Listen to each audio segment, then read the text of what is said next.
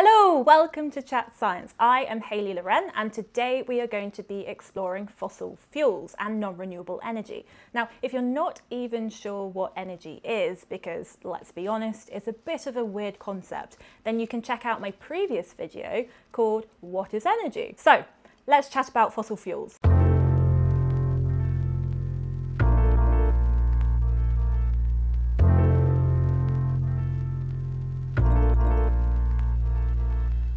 So to understand fossil fuels, we have to go back hundreds of millions of years when the planet looked completely different to what it does today.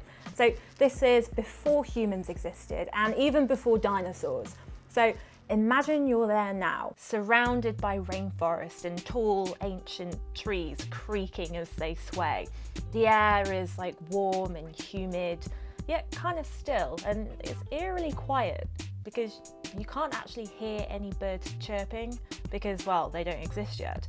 But you see a few beetles marching along the floor towards like a boggy area and a really strange fish-like reptile just sitting there looking at you. It's ancient Earth, an alien world, and fossil fuels start here. You look towards the boggy area and you notice a tree slumped over, partly submerged in the bog. Leaves flutter down from the tree canopy above and kind of decorate the boggy land in front of you. As we fast forward, more and more leaves fall down, more trees and plants become submerged and buried in the ground.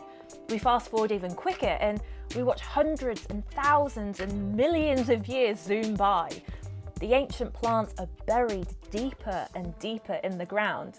They're crushed and squeezed and broken down in the soil where there's like no oxygen in a process called anaerobic decomposition.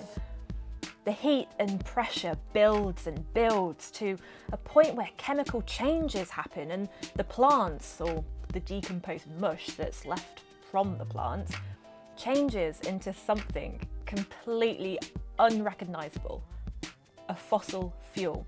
Now, depending on the location and the type of plants that were there, the mush turns into different types of fossil fuels. So that could be coal, oil or gas. And they are fuels because they contain all of the energy that was once stored within the ancient plants that had allowed them to grow. So fossil fuels are essentially ancient energy trapped deep within the Earth's surface. So since their discovery, they've been responsible for huge leaps in technology and in our lifestyles. So now we can heat our homes and drive cars and go shopping and, and go to the cinema and even fly around the world. Fossil fuels have been a huge part of the lives we live today. We are dependent on them, but are they good? Or at least is our use of them good? The answer, well, no because when we burn fossil fuels, they release greenhouse gases such as carbon dioxide, which then get trapped within the Earth's atmosphere and cause warming of the Earth's surface. Now, there is a lot of controversy around global warming, and I'm not going to go into that here because I really want to be able to talk about it fully, so I'm going to save that for another video. Another thing is that they're not infinite. There were only so many plants that were crushed and buried, so fossil fuels are a limited source of energy. So if we keep using them, but there's only a limited supply, then what does that mean?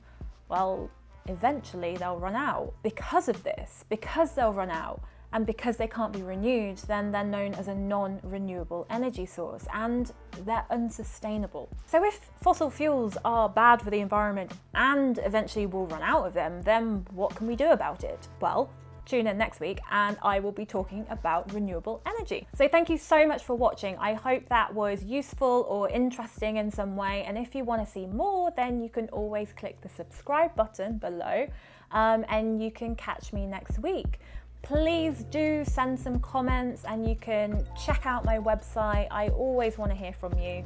So speak to you soon.